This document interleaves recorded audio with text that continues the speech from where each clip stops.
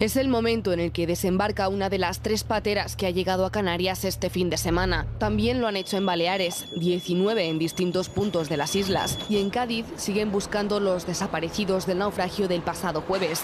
Con los dos que se encontraron ayer, los fallecidos ya llegan a la decena. Imágenes cada vez más frecuentes. Solo este fin de semana medio millar de inmigrantes han alcanzado distintos puntos de las costas españolas, más de 28.700 de enero a septiembre. Es un 51% más que el año pasado.